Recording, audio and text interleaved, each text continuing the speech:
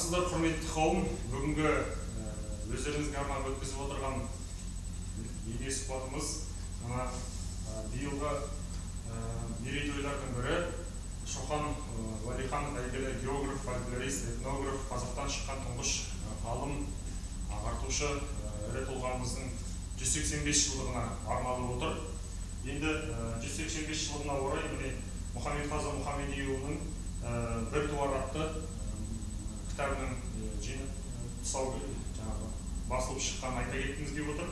Бұл жерде бұл кітапта осы шоқан атамыз туралы жазылған әртүрлі мақалалар одан кейін өзі автордың да жазған мақалалары да осы жинаққа енген екен.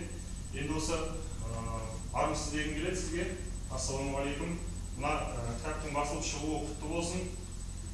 Биылғы міне қазақта айтады ғой ғалымның аты өшпейді ғалымның хаты өшпейді жақсының аты өшпейді деп жатады енді осы ғалымның хаты өшпегенінің өлмегенінің бір белгісі болар бүгінгі міне біздің шоқан атамыздың қалдырып кеткен мұрасын дәріптеп осындай кітап шығарып жатырсыз жалпы сізге бүгінгі жалпы айтқан кезде бұл біздің бейне сұхбатымыз бір ойдан шоқанның туған күніне орайластырып отыр алдында осы әлеуметтік желілерді бір қарап отырған кезде шоқанның туған күні қарашаның басында деп айтылып жатты.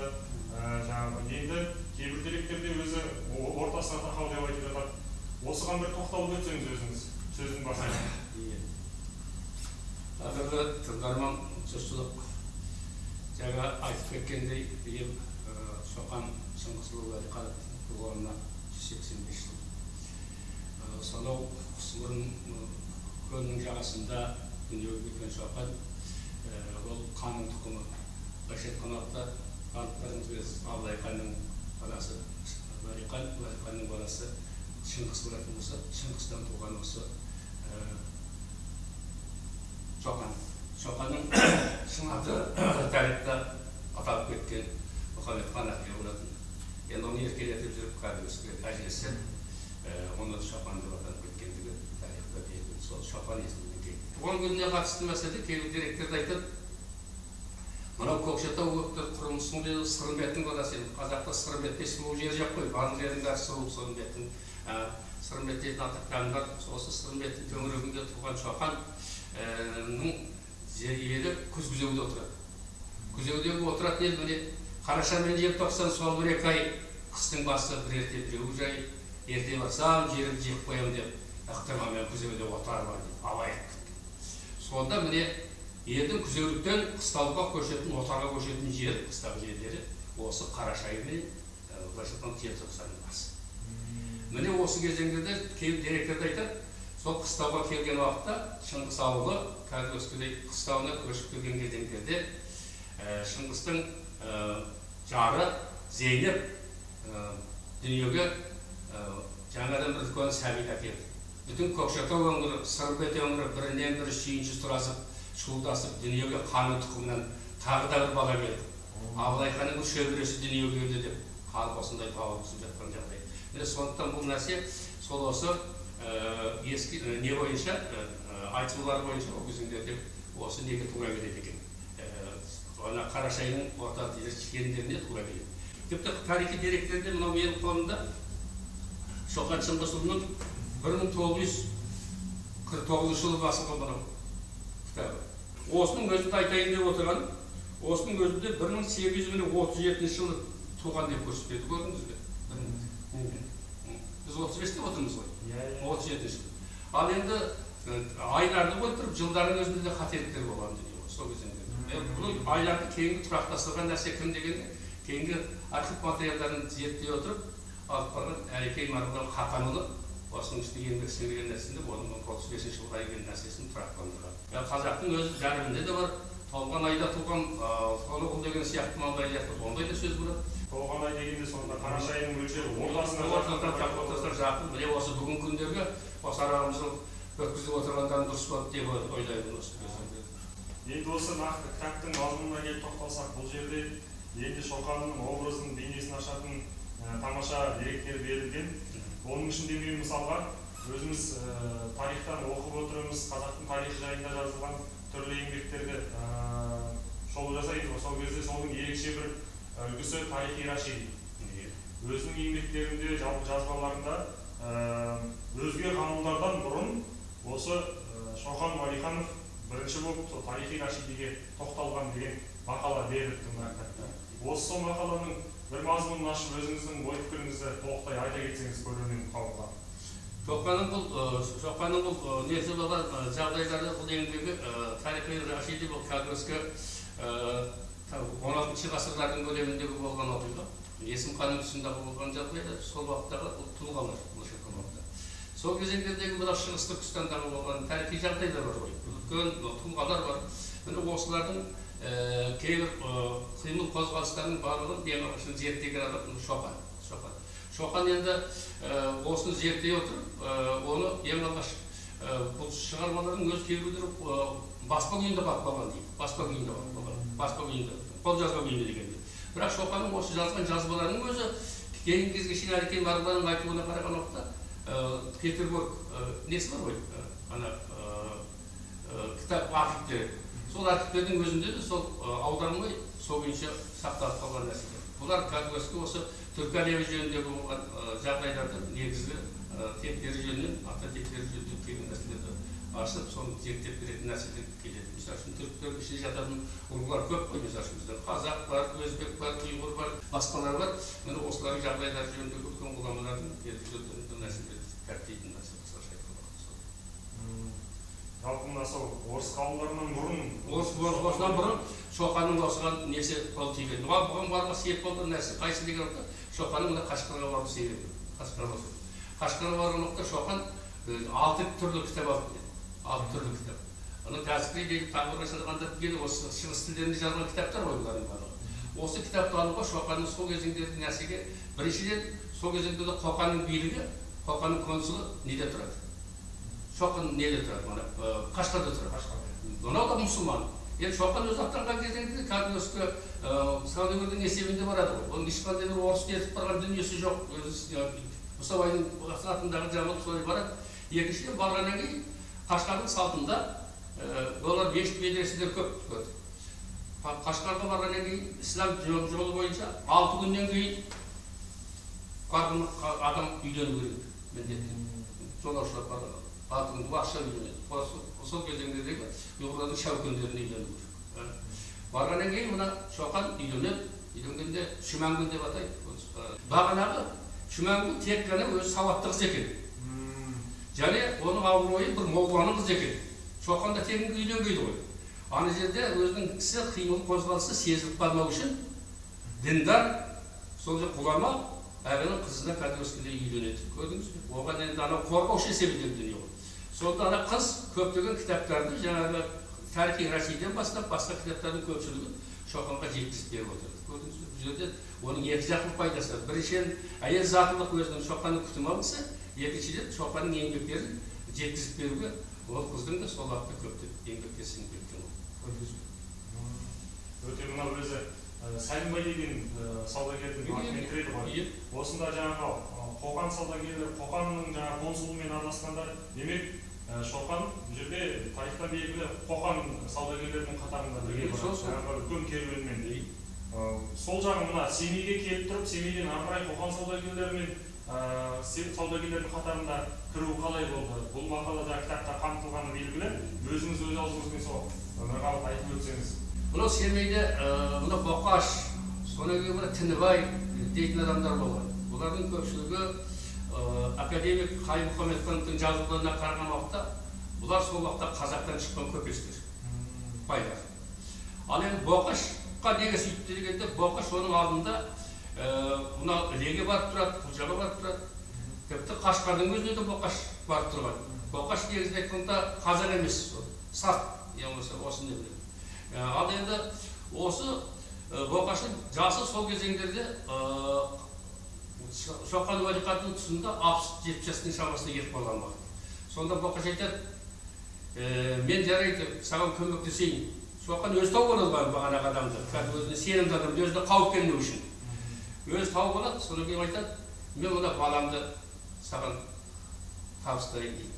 Оның баласы қайсы? Оның баласы кәдімгі құнанбайдың әкесі деген қызы ғой енді соған үйленген оның ал енді оның өзі де саудагер ол бүтін ә, россияны аралайды ә, қытайға барған құлжаға барып жүрген адам. Міне ә, ол осындай сенімді адам болғандықтан осылай болады. Екінші қашқарға баратын отыз төрт адам болады отыз төрт адам. Отыз төрт адамның жиырмасы қоқан саудагерлері ол қоқан саудагерлерін осы семейден тауып алады абай көрдіңіз бе? Осы ал енді отыз төрт саудагер болған уақытта ар жақта он төрті ғана басқа жай қазақтар. Көрдіңіз бе? Жиырмасы кәдімгі қоқанның адамдары қоқанның адамдары. Сондықтан оған ешқандай жер етпейтіндей етіп кәдімгі сендетіп ана қоқанның өз адамы ол барып келіп жүрген адам қашқарға да өңі бәрі таныс көрдіңіз бе? Екіншіден жолды жақсы біледі.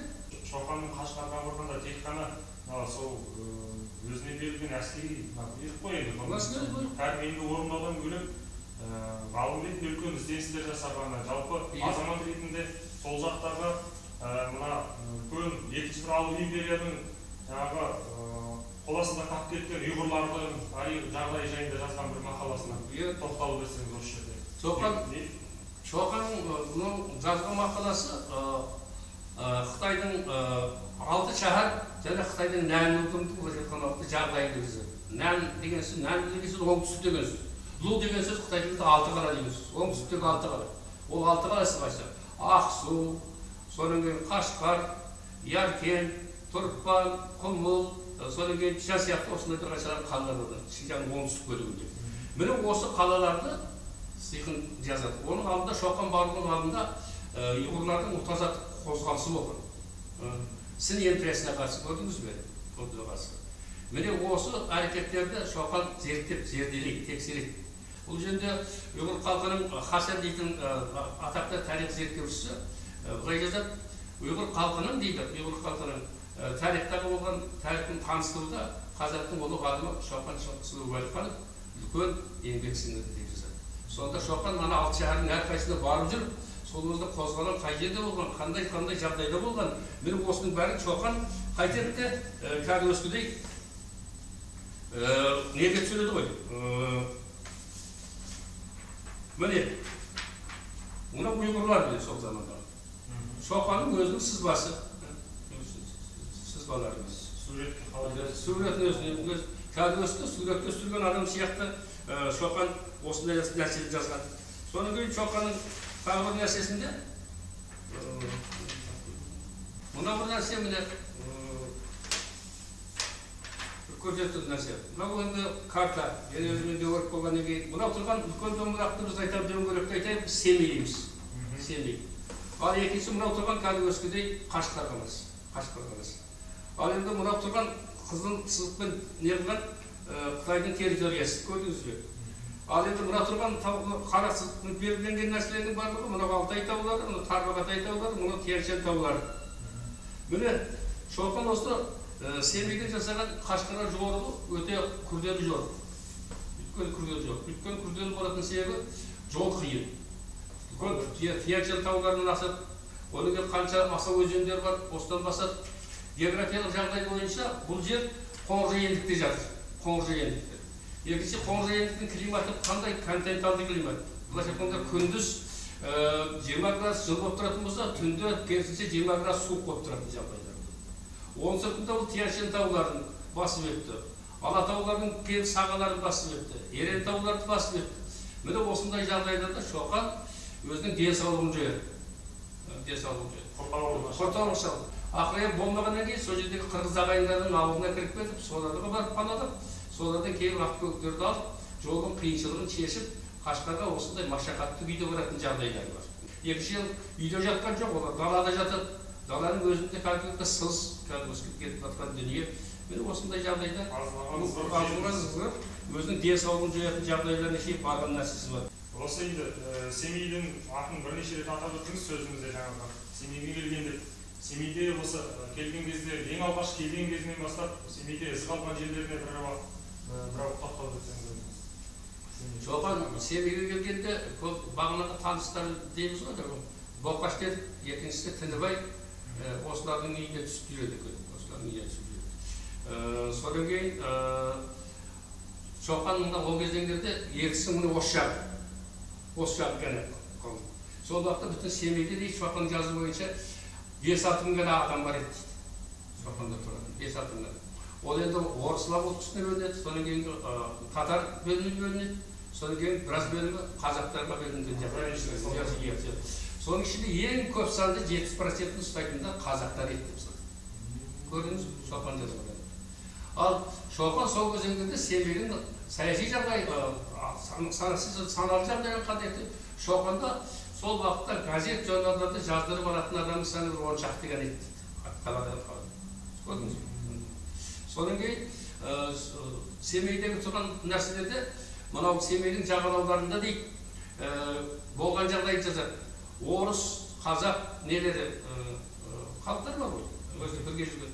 Солар өзінің ұлттық киімдерімен киініп кәдімгідей мерекелерін өткізетін жағдайлар осындай бар кімнің үйіне келгенде ы, тінібайдың үйіне келген уақытта сол қазақтың салты мен дәстүрімен отырған беретін жағдайларын айтады жақсы әңгімесін айтады содан кейін семейдің мынау арғы жақ жағалауында сол кезеңде де жаңадан ғана тінібайдың мешіті тінібайдың былайша айтқан уақытта несі салынған екен үйіне қоражайына орын берген тінібайға сол уақытта жазады семейде екі мұнаралы тас мешіт бар екен деп жазады шоқан көрдіңіз екі мұнаралы тас мешіт бар екен ал намаз оқитын адамдар сол бес жүз алты жүз кейде жүзден астам адамдар мешітке келіп кетіп тұрады екен деген сияқты жағдайларды жазады шоқанның жазбаларында міне шоқан осындай нәрселерді көрсетеді содан кейін семейдің табиғатын жазады оның шығысындағы болған бүгінгі аралдар бар ғой мысалы теңіздің көбінесе жағалауларында тұрады екен халықтардың көпшілігі кәдімгідей ат арбаларменен жай ат көліктерменен әрекет жасайды екен екіншіден шоқан айтады ертістің жағалауларының көпшілік бөлігінде бұл жақтан бастап мына зайсаннан барған жағына тайсады ғой теңіздің осы жерде бір қаншалаған жерлерде ы, мына орыс отаршылдар иеленіп алғандығын айтады ашылып жазады мысалы үшін ы, қаретістің бойында аты аты есімде жоқ дөретудың бір байын келтіріп болысын келтіреді де солардың қыстауларын тұрған жерлеріндегі жағдайларынан ығыстырып шыққандығын айтады да олардың қыста мал ы, мекеннің ы, айтады осындай жағдайлардың бәрі шоқан заманында құсалықпенен кейінгі жағдайды көпшілігі жазған. Демек шоқанның еңбектері патша өкіметіне келіп қарсы бағытта болғандықтан өзінің халқын шоқанның көптеген ондай шығармалардың көпшілігі басылмай қалған. Көрдіңіз бе? Тек қана орыс өзіне пайдалы экспедицияға пайдалы өзінің болашақ отарлауына байланысты нәрселерге осы нәрселерді сол кездегі патшалық Мысалы үшін қытайға неге барады? Қытайға барғандағы жағдай сол кезеңде асыл тастар болған. Мына ерекалыға тауларында сол тастарға шейін коллекцияларын жинаған шоқан мына береді ғой. сол мақалалардың қазіргі кезде тастардың коллекциясын содан кейін жоқ біз жақта дәрілік дәрмектік өсімдіктер бар ғой. Соның гербарийларын шейін кәдімгі шоқан жазып кеткен бір нәрсені барып жазып қайтып келген жоқ. Үлкен экспедиция ол. Жүз түйемен барды шоқан. Отыз үймен барды отыз төрт адаммен барды. Содан кейін елу алпыс жылқымен барған жағдайлар қанша ақша жол жөнекейін сатып алған тоқалақ көшіп кеткен шоқанның көші келе жатыр дегенді кейбіреулер естіп бес жүз мың ы, бес мың қолменен келе жатқан орыстың былайша айтқанда үлкен экспедициясы жаулап алушылар келе жатыр екен деген қашқарға үлкен туғызған әрекеттер болған көрдіңіз бе? Бірақ кейін келген уақытта орыс емес келіп жатқан адамдар қоқаннан да келіп жатады анау паранадан да келіп жатады тұс тұстан барып жатқан саудагерлер құртша қайнап жатқан кәдімгі жәрмеңке базары ғой енді оның ішінде бөтен бөгде орыстың мүсіні бөгінен көрінбегеннен кейін шоқан оның үстіне тез батып кетті соны қоқанның саудагерлерімен бірге көрдіңіз бе сонымен шоқан ол өзінің жұмысын ары қарай жалғастырған нәрсесі осылай абай бір кезеңде қалың елім қазағым деп кетсе шоқан не деп көрсетті ел дербес болмай дейді билігі дербес болмай дейді жері дербес болмай дейді Ә, сонымен бірlikte өзінің ә, қоныстары жері дербес болмай қазақ халқының былайша айтқанда жағдайлары оңалмайды дейді біріншіден әлеуметтік жағдай болу керек дейді Ә, екіншіден мына саяси еркіндігі болу керек деп сөйтеді сондықтан ең алдыменен иә басқа кейбіреулер ең алдымен экономика деп жүр сауда деп жүр бір деп жүр. Ә, екінші ана саяси жағдайды екінші орынға қойып жүр дейді. Екеуін бірінен бірін ажыратуға болмайды дейді. Адамның саяси жақтан ақыл ойы болмайтын болса санасы болмайтын болса ол қайтып байиды дейді қайтып дүниені орнына келтіреді міне осындай жағдайға шоқан міне бүгінгі біздің өмірімізге лес болатын нәрселер осы содан кейін шоқанның бұл жерде жағдайлары ұлт жаңадану үшін дейді ұлт өзгерту үшін ұлттың прогресстік жолға түсу үшін не керек дейді реформа керек дейді сол мына жерде жаңағы сөзіңіздің басында өзге авторлармен қосылғанда өзіңіздің де автор жаңағы жазған мақалаларыңыз сүйектерді дүниелеріңіз э, жарияланғанын айттық мына жерде шоқан тек біз қашқарияны айтамыз ғой енді. Жоңғарияға саяхаты жайында осы жайында да э,есі жайында қана жалғыз саяхат қашқариямен шектелмейді өйткені оған дейін жоңғарияға да иә үлкен саяхат жасаған ол жоңғар жоңғар жоңғар деп атайтынымыз кешегі жоңғар хандығы жоңғар хандығы дегенімізде ол жоңғар өзі төрт рудан тұрады ғой қуашақтар сол енді жоңғар деген сөз оңғарат деген сөз шыңғысхан оңғарат бұлар мына жоңғарияны мекендеген сол жерде күшті мемлекет болып тұрған кәдімгі бүгін қай жер дегенде бүгінгі қытайда құды мына қарамайтау деген жер бар. Көрдіңіз бе? Қарамайтау мына шәушектің ар жағында. Мына жағында тарбағатай ар жағында барлықтау мына жағында. Мына жағындағы тол дейтін аудан бар.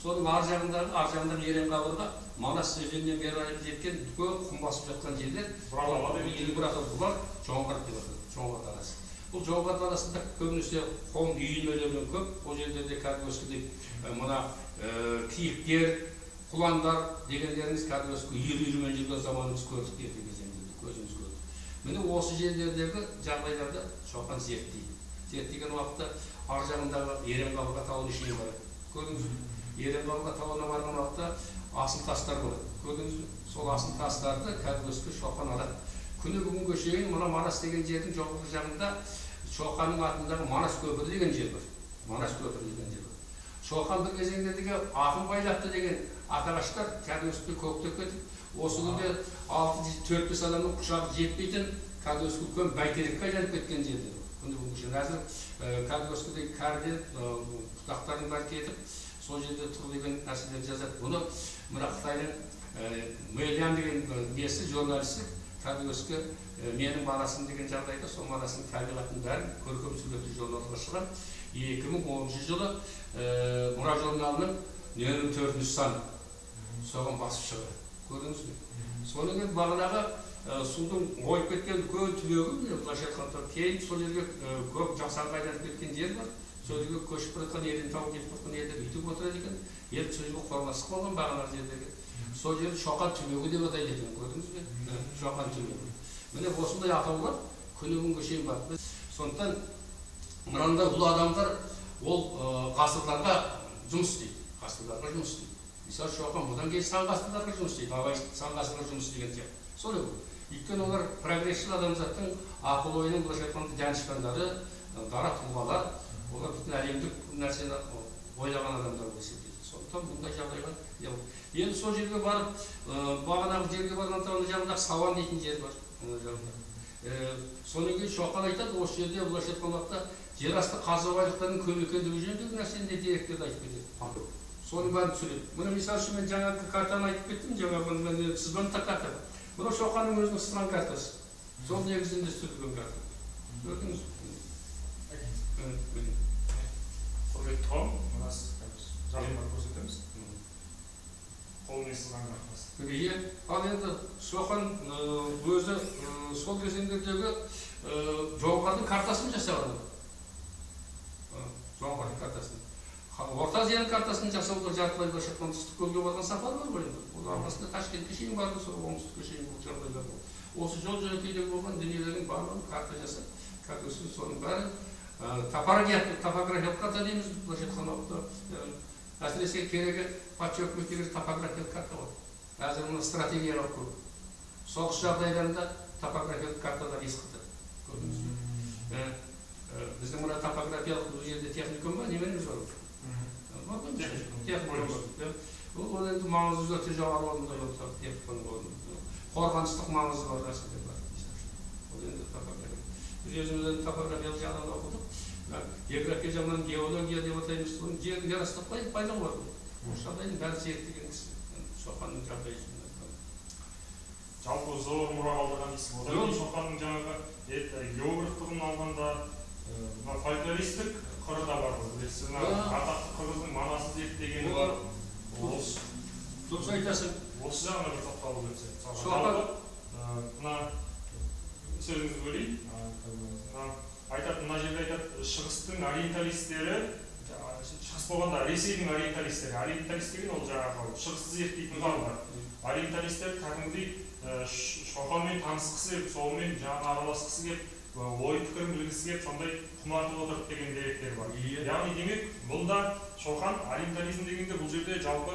ориенталистика дегенде тек қана географиясы емес бұл жерде мәдени құндылықтар әдеби құндылықтардың барлығын қамтып тоғыз еді деген оның ішінде жаңағы айтқан біздің манас жыры бар осы жағына бір тоқталып бір дерек беріп өтсеңіз. Шоқанның мынау үлкен сапардың бірі бір мың сегіз елу бесінші жылдары ы, жасаған ы, мынау оңтүстіктегі болған ыстықкөл саяхаты осы ыстықкөлге барған уақытта кәдімгі сол жергілікті қырғыздармен кездесті кездескен уақытта ы, ауылдар енді кәдімгі жайда өсті неғылған қырғыздармен кездесті қырғыздар өздерінің манасшыл манасшыл дейді ғой мысалы үшін біз енді жырлаушыл манасшыл солардың біреулері жырлап отырған кезеңдерде шоқан бағанағы нәрсені жазып манастың жыры мен ана кітапта келтірдім орыстың ана қырғыз үлкен жазушысы кім ғой не болды ғой шыңғыс айтматов а шыңғыс айтматов иә шыңғыс айтматов шыңғыс Айт- Айт- айтматовтың жазбаларында бар ол шыңғыс айтматов солай деп жазады мына шоқан дейді манастың өте бір тамаша күрделі бөлімін жазып алған дейді күрделі күрделі бөлім әуені жағынан содан кейін мазмұны жағынан қырғыз халқының эпостық жырларының осы бөлігін бізге жеткізіп берген.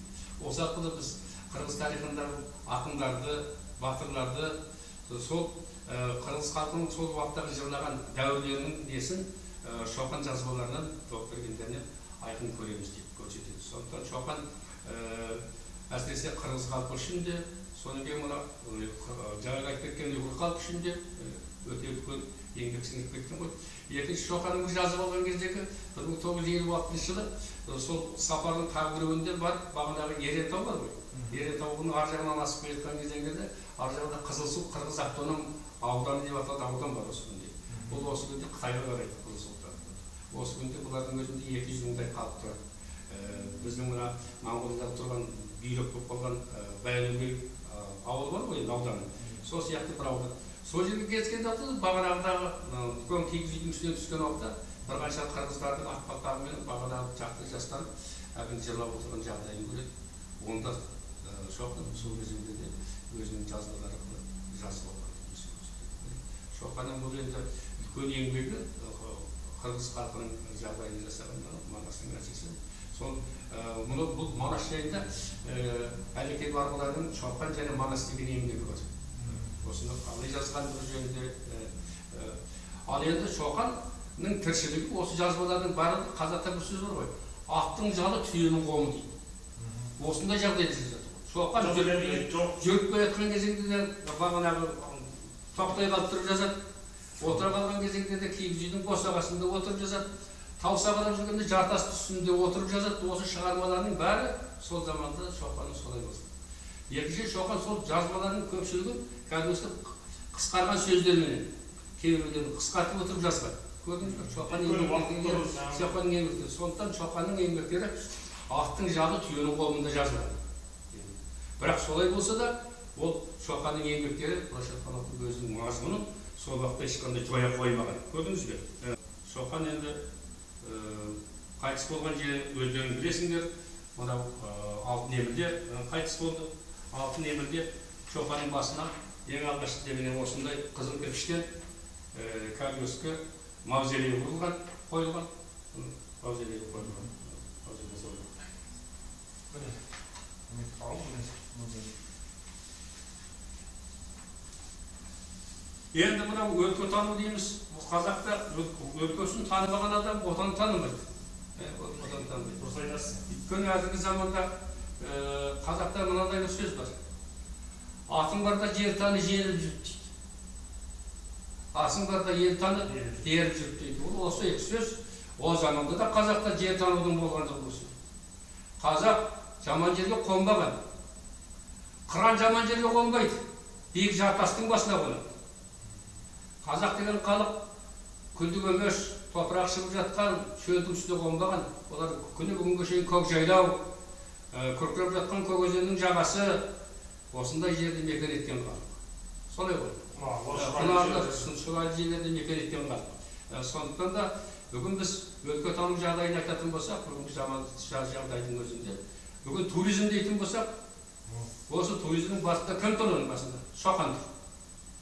Шоқан ашқан ыстықкөл бүгін қандай болды? Қараңыздар.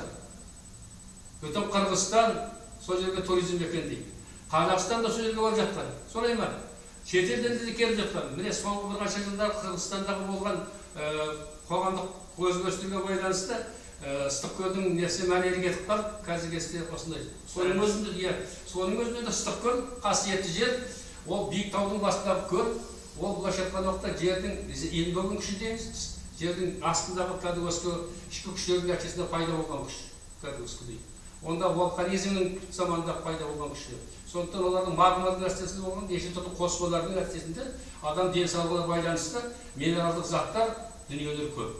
Көрдіңіз бе?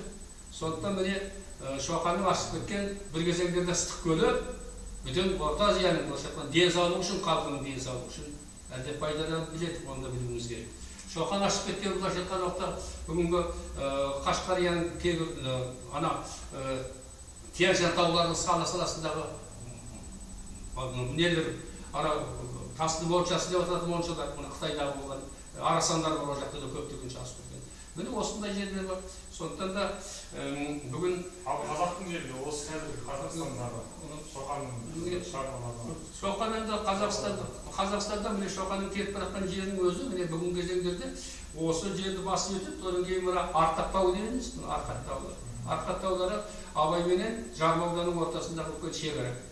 Міне осы шекараның табиғаты өте құнарлы тамаша жер осы жердің де табиғаты туризм ашуға болатын жерлер мысалы үшін бір кезеңдерде осыған өзінде жүзден артық кәдуескі татарлар келіп тұрып әлгі саудагерлер келіп сат саудагерлері мекен еткен бағана боқыш деп боқаш деп отырмыз ғой боқаштың сол замандағы мыңға жуық түйесі болды деп жазады қайым мұхаммед жазбаларында содан кейін осы күнге шейін сол жерде боқаштың қыстағы деген қыстақ бар деп айтады көрдіңіз бе? Соған кетіп бара жатқан кезеңдерде балықты көл деген көлдің жағасына тоқтайды. Балықты көл бүгін жарма ауданындағы көл кәдімгідей бұл жерде балық көлінде балық бар кәдімгі жазда оның жағасында ел балық аулауменен жазғы сол төңіректегі әлгі микро туризм деп атаймыз ғой осы күнде. Ә, сол жерде жазда халықтардың өзі басқа жаққа бармастан ар жағында қаракөл деген жер бар. Қаракөл деген жер бар Та- таудың ішінде мына бірінші бай совхозы жарма ауданының соның бер жағында осы көлдерге шейін шоқан сол кезеңдерде жазып кеткен. Содан бастап бұл мына ненің даласын жазады? Аягөздің даласын кәдуескідей келістіріп жазады табиғат. Содан кейін барып тұр шоқан ар жағында кәдуескідей қозы көрсеш баян сұлудың моласын көреді. Сонда ол қосқаштарға бұрында өзі бала күнінде шешесінен жаттап өскен. Мына қозы көрпеш баян сұлуды. Енді кетіп бара жатқанда көктемде кетіп бара жатқанда соған қызығады барғысы келеді. Ә, барғысы келсе ол кезеңдерде аягөз өзені қатты тасиды да кәдуескі айналасына жайылып кетіп батпақ болып ә, ат бересің әлгі неге жастып қалады ғой. Сонымен оған бара алмай қалады. Енді сол қайтып келе жатқанда шоқан сол ненің қасында мынау мынау қозғаншық баян сұлудың қасында осындай тастардың ескерткіш тастардың болғанын көреді қолмен салуға сурет. Иә сол қолмен салған соқан суреті міне кейін қараса осы тастар жоқ. Өйткені ағылшындардың диқан кездері осыларды бүтіндей не орыстар ма қайсысы екенін біреулер керуенмен жүргенде көшіріп алып кеткен бе? міне мынаның өзінде көрініп жетіп тұр міне. Қозы менен баянның екеуін басын қайтып қойған байлап қойған ба атап қойған ба?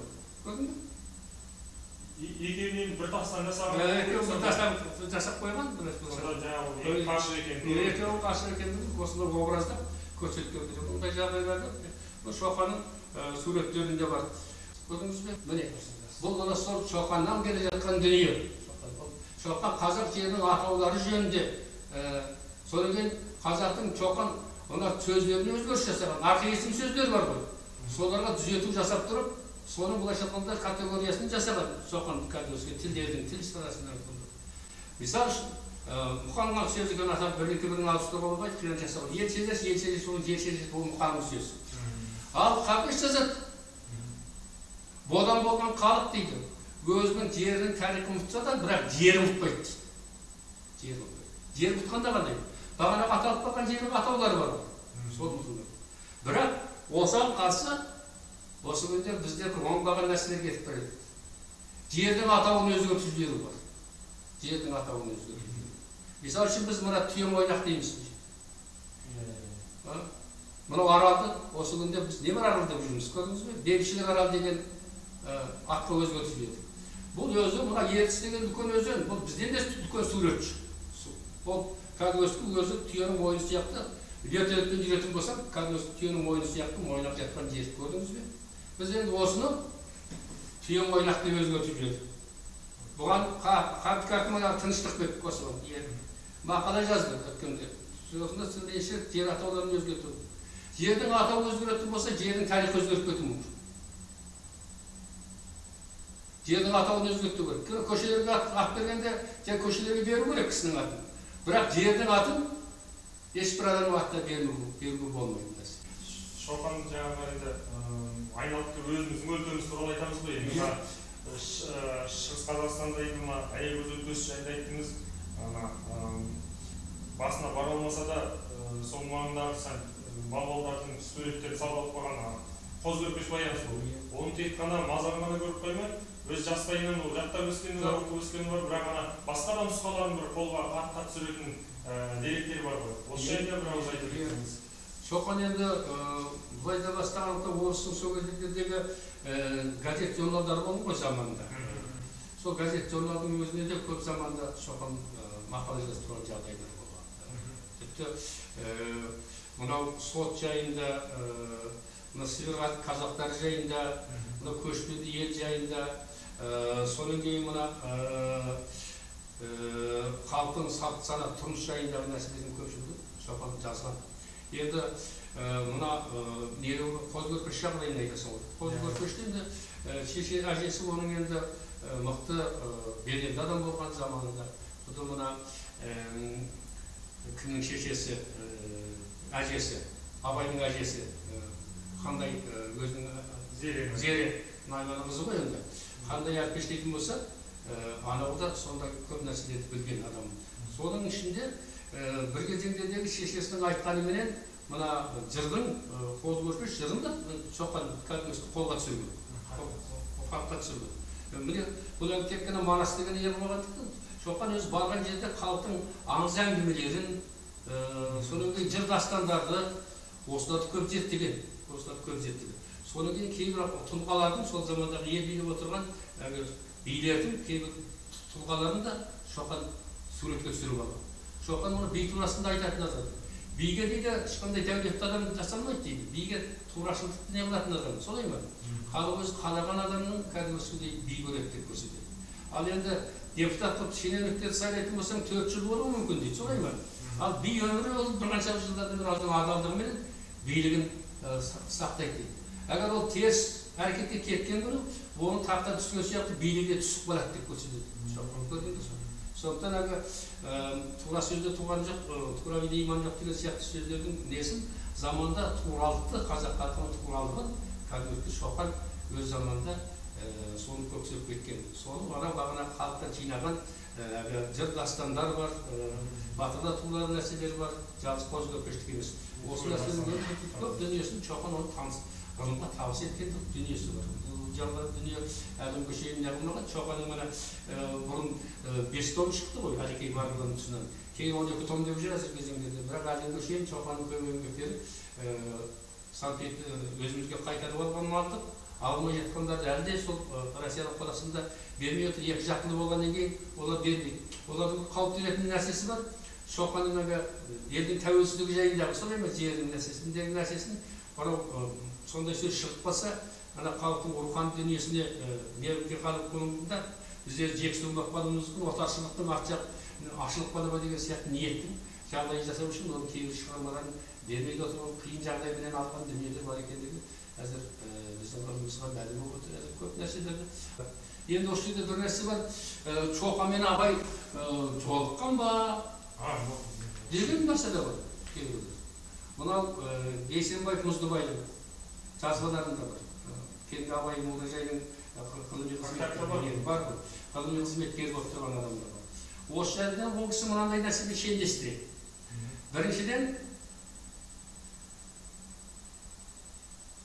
құнанбай аға сұлтан ал шыңғыстың әкесі де кімнің шоқанның әкесі де шыңғыста аға сұлтан бірімен бірі араласады көрдіңіз бе екіншіден мына қарқаралыда тұрғанда құнанбай істі болып қалады ғой істі болып қалады да ненің түрмесіне кетеді омбыға солай ма сол кезеңдерде мыңбеттің үстінде құнанбайдың үстінен ана жігітек пенен өзінің екі руының ортасында түсіп қалған жағдай бар ғой сонда кісі өлімі болып тұрып содан барып тұрып кетеді ғой енді ана болып сол жағдайда нәрсеге не қылады да сол уақытта ә, адвокаттықпенен атбекеттікпен атбекеттікпен түрмеден еліне шығарып алу үшін шыңғыстың да сол кезеңде рөлі болғандығы өйткені шыңғыс сол кезеңдерде құнекеңе қараған уақытта осыны тіпті жақсы біледі ол өзі анау ә, анау катеттің несінде азияның сөмкасында азиялық мектепте оқыған омбыда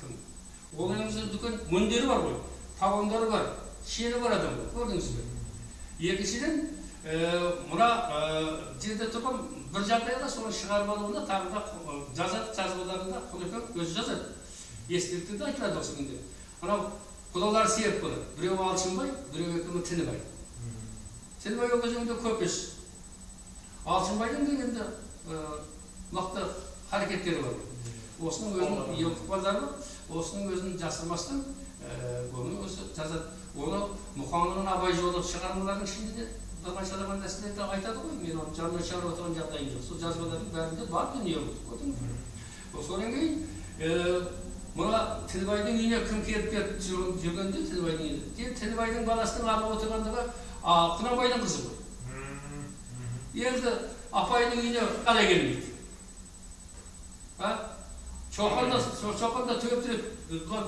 не жүргенде сол үйде болады солай ма бәрін абай абай абай деген абай он еді дейді абай мен шоқан енді он жастағы бала едәуір жастағы бала ғой. Ол кезде он жастағы абайдың ақылесі дегенің әнде ол кезде абай семейде оқып жатқан семейде оқып жатқан кезі міне осы нәрсе бұдан кейін менің ойымда осы нәрсе бір абай мен шоқанның қатынасын зерттейтін алдағы істің былайша айтқан уақытта зерттеуге тиісті нәрсе болып есептеледі. Өлкетанушылар солай бұл жерде енді ә, әлі біз көп не ала қойғанымыз жоқ солай ма осы жағдай ол кезеңде түспейді өйткені анау апайдың үйі солай ма өзінің апайдың сол үйде оқылады екіншіден ол үйге шоқан жиі жиі барып тұрып ботаник бәрі түсіп жатқан үй көрдің бе ол үйде кездіруі мүмкін ол табиғи нәрсе солай ма сондықтан міне осы жағдай жөнінен айтқан уақытта бұның өзара қарым қатынастық жағдайлары бар одан кейін мына жоңғарлардың ішінде мына қақастар бар. Сол қақастар. Қақастар түркі тілдес халықтар шоқан осылардың тарихын зерттейді сонда тарихта үш жүз оннан артық үйде үйде түтін ғой соны зорлықпенен жоңғар хандығы кәдуескі мына жоңғарияға көшіріп алып барған. Сол кезеңде мұны солайша көшіріп барған содан кейін біздің мына ә, венгрияда тұратын. Мажарлар осы мажарлардың бір кезеңдерде төрт жүз түтінді қыпшақтар. Осы венгрияға ауысып барғандығы жөнінде деректерді шоқан жасады. Көрдіңіз бе? Бүгін мажардар соны ана мажардан қара деп аталатын ғалым бар сол жазады шоқан ә, біздің түркі тілдес халықтардың ішінде бізді танытуға біздегі қыпшақтармен болған арамызды танып білуге біздің тарихта көзімізді ашты дейді. Көрдіңіз бе? Мына жерде міне шоқанның ә, өзінің туған туыстарының Иә, суреттері дұрыс. мынау шота уәлихан білесің кәдуескі немере інісі шота уәлихан бұл кісі мемлекеттік рәміздеріміздің авторларының қатарында. Иә шоқанның інісі әбіл мағжан және шоқанның інісі қоқыш. Иә мынау шоқанның ұрпақтары бәріне келіп дүние ғой сақып керейдің қызы бәдіғұл иә бәдіғұл жамал. Бәдіғұл енді шоқанның өзі мына абайда кейбірде ы, әкесі құнанбайдың ы, кей ы, дүрмінезіне қарсы болғандарын бұрын ә- әдебиеттерде кезген ғой шоқанды өзінің әкесі шыңғысқа кейде қарсы болған ойлар да бар оның ойын дейді мысалы үшін біздің қазақ айтады жақсы бала ата анасын тәрбиелейді жақсы өйткені әке шешенің өзі де сол баланың тәрбиесіне жете алмайтын адамдар бар солай ма кейбіреулер керісінше мен бірақ жақсы бала ата анасын тәрбиелейді сонда енді он екі жастағы шоқанды омбыға кадет корпусына апарып қабылдайды шоқан бір уақытта бұлданады бармаймын дейді әкесінің бағанағы елдің ішіндегі аға сұлтан болып тұрған кезеңдердегі оқыс көрсеткен мінезіне болады қиқарлық деген сонда әкесі шыңғыс тұрып айтады екен мынаның қол аяғын байлаңдар да апарған тарантасқа салыңдар дейді. Шыңғыс. Сонда әкесіне айтады абылай хан тұқымында байланғандар мен байланғандар аз болып кетті дейді.